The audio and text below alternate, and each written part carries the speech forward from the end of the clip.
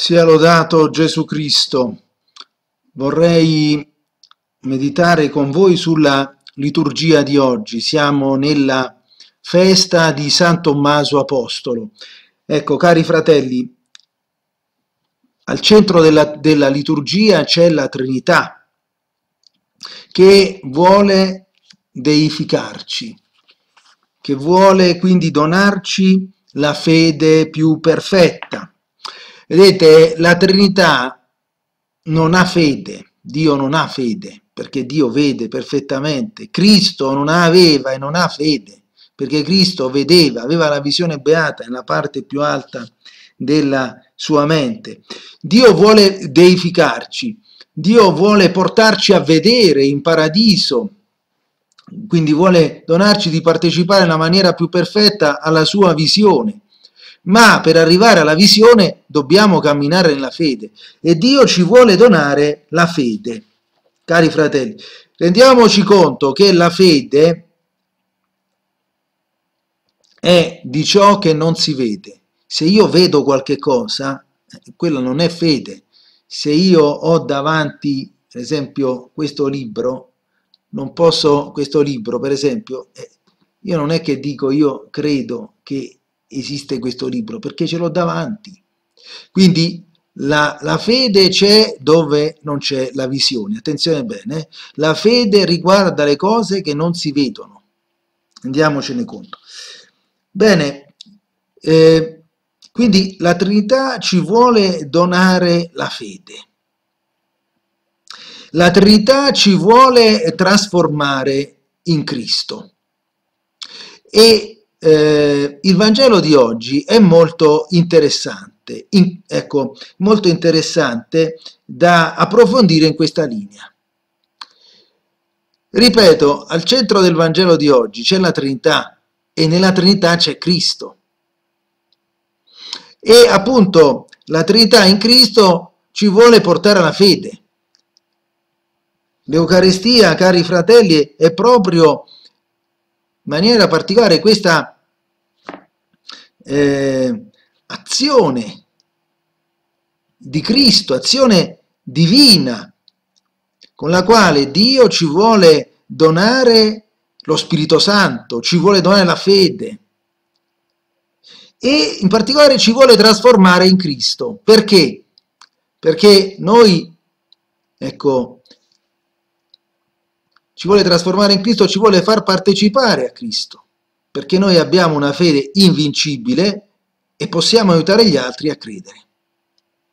Questo è l'insegnamento fondamentale di questo Vangelo. Eh? Attenzione bene, la Trinità ci vuole trasformare in Cristo perché attraverso di noi gli uomini tornino a credere. Questo è importantissimo. Eh? La Trinità ci vuole rendere strumenti di Dio per la conversione degli uomini a Cristo. Questo è fondamentale, eh? attenzione bene. E vedete, in quelle parole di Cristo nel Vangelo di oggi, è il Vangelo dell'incontro di, di, Cristo con Tommaso dopo la risurrezione di Cristo. Cristo incontra Tommaso, Tommaso da incredulo diventa credente. Quelle parole di Cristo a Tommaso, non essere, non, non essere incredulo ma diventa credente, possiamo ecco, eh, tradurle in questo modo. Ecco, queste, queste parole il Signore le rivolge a tutti. Dio chiama tutti alla fede e si vuole servire di noi proprio di portare le anime alla fede. E queste parole Dio ce le dice anche a noi. Non essere più incredulo se sei ancora incredulo, ma diventa credente, diventa pienamente credente. Vedete, noi tra, in, in italiano abbiamo la traduzione non essere incredulo ma credente. Ma come diceva il famoso, il famoso esegeta della Poterie, in quel verbo usato da Cristo e appunto eh, presentato nel Vangelo in maniera ecco più precisamente presentato dal, dall'Evangelista nel, nel, Vangelo quindi quel, quel verbo usato da Cristo bene quel verbo ha un significato cioè è un verbo eh, che indica un dinamismo cioè eh, Gesù incontrando, il, incontrando San Tommaso con quelle parole, non essere più incredulo ma diventa credente, lo chiama a credere. Quindi lo, lo chiama a fare questo passaggio. Quindi dobbiamo renderci conto di questa dimensione della fede come un, in certo modo, un percorso. Dobbiamo, in tanti casi, no? Fare proprio un percorso già per raggiungere la fede. Dobbiamo disporci al Signore, fare un percorso come è stato per tanti eh, convertiti, fare un percorso per arrivare alla fede ma anche un percorso per crescere nella fede. Nella fede, vedete, si può crescere, si può diminuire. La fede si può acquisire, si può perdere. Si può accogliere, si può rigettare in certo modo. E vedete, interessante il fatto che appunto anche di fronte a certi segni noi possiamo non credere, cioè possiamo vedere e non credere. Il Signore dice appunto a Tommaso, adesso mi hai visto risorto, arriva a credere. E qui appunto c'è un, un, discorso da fare anche sui segni e la fede, perché vedete se noi leggiamo il Vangelo, in tanti passi vediamo proprio come dai miracoli si giunge alla fede delle persone. Lo vediamo con grande chiarezza. Ma perciò Gesù ha compiuto tanti miracoli, proprio per portare le anime alla fede. Gesù ha compiuto tanti segni, eh? lo possiamo leggere chiaramente proprio nel Vangelo di Giovanni. Dopo che Gesù aveva compiuto il grande miracolo della resurrezione, dopo un po' leggiamo che i, eh, i nemici di Cristo dicono chiaramente quest'uomo fa molti segni e arrivano poi alla decisione di ucciderlo. Quindi, cari fratelli, l'importanza dei segni per la fede. Normalmente dai segni si arriva alla fede. Andiamocene conto di questo, eh? rendiamocene conto. E d'altra parte i segni ce li dona Dio i segni ce li dona. Dio, Dio ci conosce, conosce, molto bene, quindi noi dobbiamo ecco, accogliere i segni che Dio ci dona per credere. Cari fratelli, dobbiamo accogliere i segni che Dio ci dona per credere. Dobbiamo aprire il cuore allo Spirito Santo per appunto credere. La fede, la Viviamo sotto l'azione dello Spirito Santo. È lo Spirito Santo che ci porta a credere, cari fratelli. E poi dobbiamo, proprio in questa sapienza divina, dobbiamo esaminare le famose parole che Gesù ha rivolto a Tommaso. Dopo che Tommaso ha fatto il famoso atto di fede, no? mio Signore mio Dio, Gesù che cosa dice? Perché mi hai visto, hai creduto. Beati quelli che, pur non avendo visto, hanno creduto. Che cosa vuol dire qua, cari fratelli? Allora, vedete, il, il, il verbo che usa qui Gesù, in realtà ha due significati, in certo modo. Da una parte significa avere certezza, da un'altra parte significa proprio credere. No? Ecco, allora, quando Gesù dice a Tommaso, perché mi hai veduto hai creduto, qui vedete che in maniera particolare emerge questo, questo significato. Perché mi hai visto, adesso sei certo che io sono risorto. Da notare che eh, San Tommaso aveva visto tanti miracoli di Cristo, eh? Da notare che San Tommaso aveva sentito Gesù che diceva che lui sarebbe risorto il terzo giorno. E nonostante questo aveva perso la fede, aveva creduto in un, ecco, evidentemente nella sua vita, poi con la passione di Cristo sicuramente aveva perso la fede.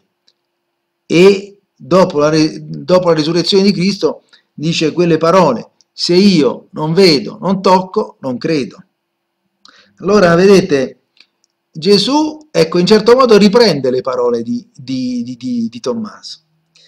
Riprende le parole di, Tom, Tommaso ecco, proprio mh, mm, particolarmente insistendo, direi, sull'aspetto della eh, avere certezza. Cioè Gesù dice, perché mi hai visto, tu ora sei certo della mia resurrezione. Perché mi hai visto, ti sei persuaso che io, appunto, veramente sono risorto. E aggiunge, beati quelli che, pur non avendo visto, hanno creduto a quello che io dicevo e appunto senza vedere, senza vedermi risorto, hanno creduto che io sarei risorto. Questa sfumatura è molto, diciamo, è molto eh, presente in questo testo. Gesù sta dicendo appunto qui in maniera particolare questo. Perché mi hai visto, ti sei persuaso che io sono risorto.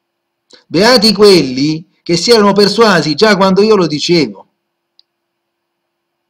e siano persuasi per la vera fede. D'altra parte, questo dire appunto di, di, Gesù perché mi hai visto e hai creduto, ecco, in questo, in questo eh, credere, ecco come abbiamo detto, Oltre a, a questa, in, in, questo verbo che noi traduciamo con credere, ecco, oltre a questa sfumatura di certezza, perché il verbo eh, greco utilizzato appunto eh, indica proprio questa certezza, ecco, oltre a, questo, a questa dimensione di certezza dobbiamo vedere in questo, in questo verbo, dobbiamo vedere proprio la fede.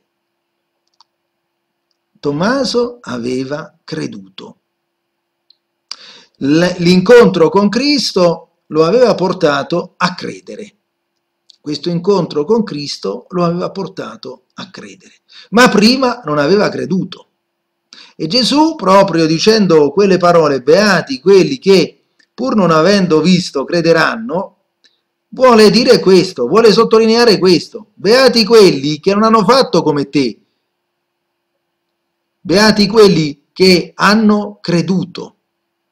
Chi sono questi che hanno creduto, cari fratelli, pur non avendo visto? Sono qui eh, Gesù appunto con queste, con queste parole mette in evidenza, mette in evidenza la virtù di coloro che hanno creduto e in particolare di Maria Santissima che hanno creduto in Lui, hanno creduto appunto che Lui era, eh, che Lui è figlio di Dio, hanno creduto nella sua resurrezione. Beati quelli che hanno creduto senza aver visto. Che cosa vuol dire qui Gesù, cari fratelli?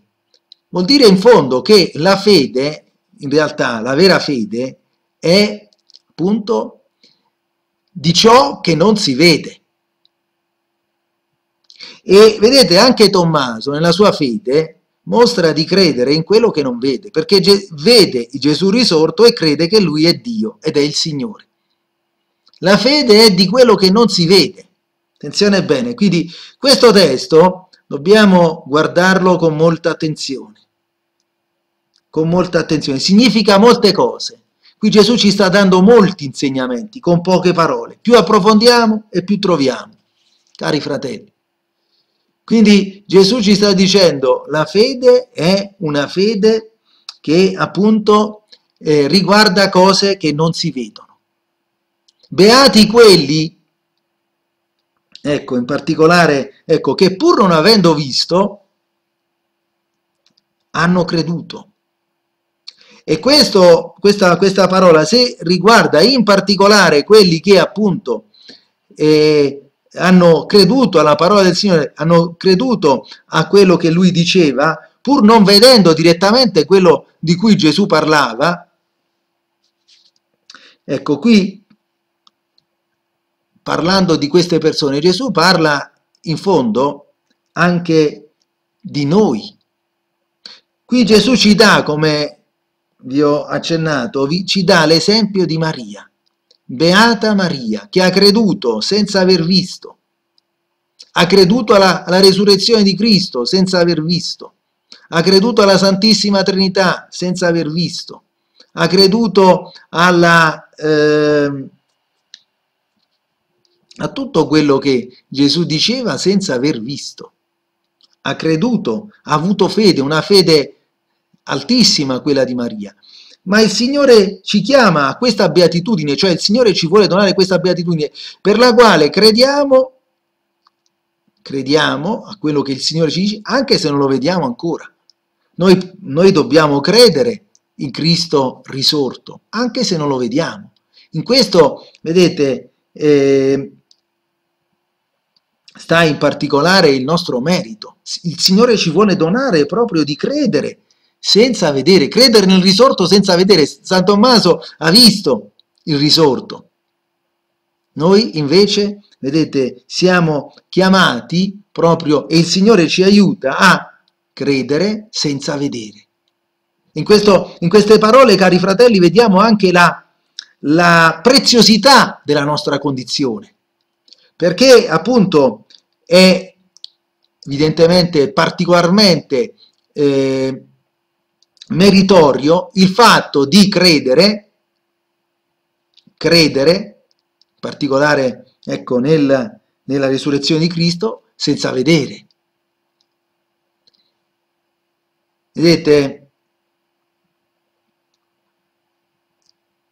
il Signore ci vuole donare una grande fede.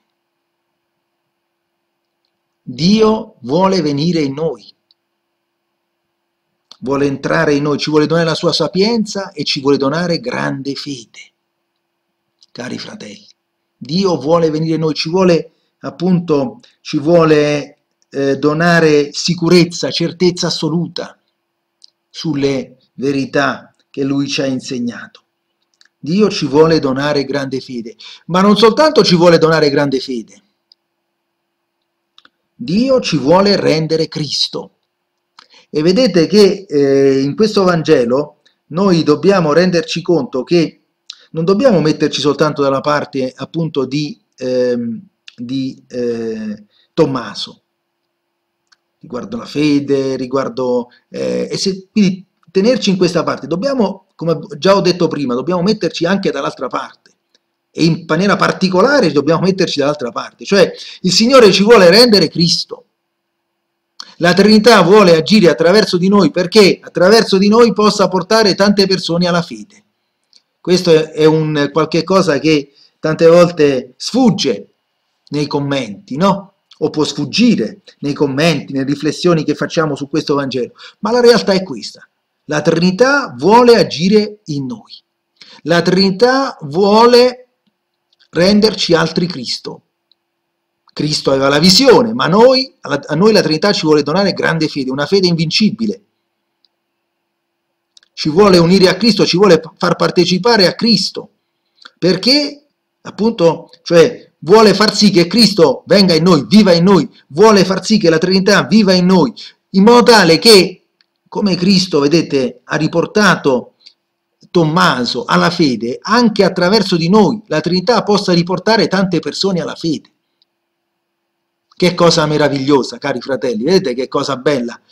Come questo testo del Vangelo contiene delle verità che eh, se uno segue una lettura, un approfondimento, segue uno, una meditazione un po', diciamo, non molto approfondita, è chiaro che queste cose non, non, non, non le vede. Invece andando in profondità si scopre proprio come, eh, come la fede, come la parola di Dio, rovescia completamente il nostro modo umano di pensare. Quindi la Trinità ci vuole rendere altri Cristo. La Trinità ci vuole donare questa grande fede. La Trinità ci vuole donare di credere anche se non vediamo. La Trinità sostiene la nostra fede e ci vuole portare poi un giorno a vedere quello che noi oggi crediamo. Bene, quindi ringraziamo il Signore per questi insegnamenti che ci dona e apriamogli il cuore perché questa grande fede possa proprio riempire i nostri cuori. E vedete che in questi tempi è più che mai importante questo discorso, perché? Perché in questi tempi di grande incredulità, come facciamo noi per portare, per rimanere forti nella fede e per portare gli altri alla fede? Come facciamo, cari fratelli? Ecco, attraverso i sacramenti in maniera particolare. Cristo viene in noi. Attraverso l'Eucarestia noi incontriamo in maniera potentissima Cristo. In certo modo, come lo ha incontrato San Tommaso, e ancora di più, perché? Perché la nostra fede diventi forte, perché appunto Cristo venga a vivere in noi, ci doni una fede invincibile, ci doni una fede convinta e convincente, perché Cristo operi attraverso di noi anche segni, miracoli, prodigi per la conversione delle persone. Vedete cari fratelli, che cosa bella. Quindi questo Vangelo è un Vangelo che illumina in maniera particolare noi oggi. Ci troviamo in una società piena di increduli. Che cosa dobbiamo fare, cari fratelli? Ecco, Quel Vangelo di oggi ce lo dice con chiarezza, ci dice che la Trinità ci vuole donare fede, la Trinità ci vuole rendere strumenti appunto di Dio per la conversione del mondo. La Trinità ci vuole donare fede, la Trinità ci vuole aiutare a portare gli altri alla fede. E vedete che abbiamo parlato anche dell'importanza dei segni. Il Signore ha fatto tanti segni, Dobbiamo conoscere i segni che il Signore ha fatto. Dobbiamo parlare al mondo dei segni che Dio ha fatto. Dobbiamo aprire il nostro cuore allo Spirito Santo perché lo Spirito Santo compia segni anche attraverso di noi, perché gli uomini credano. E voglio appunto sottolineare anche proprio questo aspetto, cioè dobbiamo conoscere i segni che Gesù ha compiuto nel Vangelo, negli scritti biblici, ma anche Dobbiamo conoscere i segni che il Signore ha compiuto per la conversione degli uomini. Ecco, nei nostri tempi, nella storia della Chiesa, il Signore continua a compiere miracoli per attirare le anime alla fede. E vedete che l'Eucarestia è sommo miracolo per attirare le anime alla fede, anche cari fratelli, rendiamocene conto, eh? Quindi dobbiamo conoscere queste cose, perché per la nostra più grande eh, convinzione di fede per, una, per avere una fede sempre più convincente, per portare gli altri alla fede. Cari fratelli, per questo la Chiesa, ecco, eh, tiene, per questo la Chiesa, vedete, parla dei miracoli, riconosce i miracoli, perché appunto eh, sono una potente testimonianza di Dio per la conversione degli uomini. Ascoltavo tempo fa quello che diceva una delle miracolate di Lourdes, spiegava che attraverso la sua eh, guarigione, attraverso la sua testimonianza, tante persone si sono convertite. Vedete, cari fratelli, dobbiamo renderci conto di questo, dobbiamo conoscere queste cose. Dobbiamo conoscere i miracoli del Signore, dobbiamo chiedere lo Spirito Santo anche per parlare dei miracoli di Dio alla gente, perché la gente si possa convertire anche attraverso questi insegnamenti. Vedete che il Vangelo ci riporta tanti miracoli, ci riporta il racconto dei miracoli. Perché? Perché attraverso quei racconti passa lo Spirito Santo per convertire le anime. Rendiamocene conto. Ecco perché dobbiamo conoscere queste cose. Dobbiamo conoscere i miracoli del Vangelo, dobbiamo conoscere i miracoli della Bibbia, ma anche i miracoli dei nostri tempi. Perché il Signore continua a compiere miracoli, cari fratelli. E dobbiamo conoscere queste cose, ripeto, perché eh, ci convinciamo ancora sempre meglio noi e siamo sempre più convincenti nostre, nella nostra testimonianza per la conversione del mondo, cari fratelli. Bene, ringraziamo il Signore, gloria al Padre, al Figlio allo Spirito Santo, come era in principio, ora e sempre, nei secoli dei secoli. Amen. Nel nome del Padre, del Figlio e dello Spirito Santo. Amen. E voglio aggiungere anche un'altra cosa, il demonio, vedete che evidentemente non vuole che noi conosciamo questi segni, miracoli che il Signore fa, non vuole che ne parliamo e soprattutto non vuole che, ne, che eh, lo Spirito Santo parli attraverso di noi di queste cose e non vuole che lo Spirito Santo compia segni e prodigi attraverso di noi, cari fratelli. Rendiamocene conto, eh? il demonio non vuole che la gente creda, creda, quindi non vuole appunto che i segni che il Signore compie siano divulgati. Non le vuole queste cose, cari fratelli. Il demonio lavora in maniera particolare in questi tempi proprio per tenere lontane le anime dalla fede, per allontanare le anime dalla fede, per appunto eh, cancellare la fede dal cuore degli uomini. Il demonio lavora per tenere lontane le persone dai miracoli che il Signore compie. Il demonio lavora perché i miracoli che il Signore compia, compie rimangano nascosti e non servono per la conversione di tante persone. Questa è la realtà, cari fratelli. Ecco perché noi ecco, dobbiamo conoscere questi miracoli, dobbiamo conoscere questi segni che il Signore ha fatto, dobbiamo appunto aprirci allo Spirito Santo perché lo Spirito Santo compia segni, prodigi, miracoli anche attraverso di noi. Vedete che gli apostoli, noi negli atti degli apostoli, nei primi capitoli, troviamo proprio una preghiera degli apostoli nella quale chiedono appunto che il Signore intervenga con segni, prodigi, miracoli. Cari fratelli, rendiamocene conto, eh? rendiamocene conto. I miracoli sono un forte richiamo delle persone alla fede. Rendiamocene conto di questo, eh? Bene, allora ringraziamo il Signore per questo, come abbiamo già fatto, e adesso voglio pregare la Madonna e San Michele perché ci aiutino a crescere nella fede, ma anche a stritolare Satana, che vuole eh, appunto toglierci la fede e vuole impedirci anche di non testimoniare la fede e vuole impedirci di eh, aiutare tante persone a credere, vuole impedire che tante persone credano. Rendiamocene conto di questo, cari fratelli. Ecco, allora preghiamo la Madonna e San Michele come detto. Ave Maria, piena di grazia, il Signore è con te. Tu sei benedetta fra le donne, benedetto è il frutto del tuo seno, Gesù. Santa Maria, Madre di Dio, prega per noi peccatori, adesso e nell'ora della nostra morte. Amen. San Michele Arcangelo, difendici nel combattimento. Sii tu il nostro aiuto contro la malvagità e le insidie del diavolo. Che Dio eserciti il suo dominio su di lui, te ne preghiamo supplichevoli. E tu, principe della milizia celeste, per la potenza divina, ricaccia nell'inferno Satana e gli altri spiriti maligni che vagano nel mondo per perdere le anime. Amen.